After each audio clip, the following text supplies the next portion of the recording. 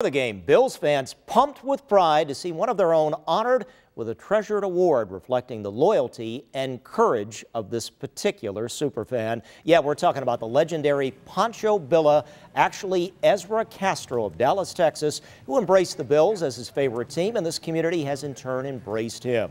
Castro, who is battling cancer, presented today with a plaque and the announcement that he'll be listed as a member of the Buffalo Fan Wall of Fame, which will be part of the future Hall of Fame for Western New York icons. Respectfully, there's a lot of super fans and Bills Mafia members that can easily be up here instead of me. And I'm just truly honored on this uh, surprise recognition I, I seriously thought I'd win the lottery before anything like this would happen.